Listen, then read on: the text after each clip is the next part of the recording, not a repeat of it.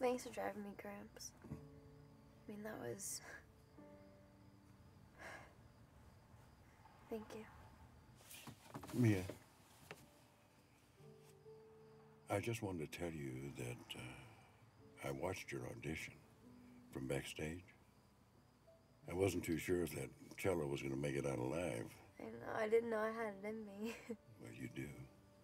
You were fearless. You played your guts out up there. Mia, you've got something special.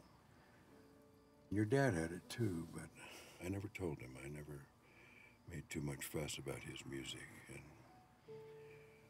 I don't want to make the same mistake with you.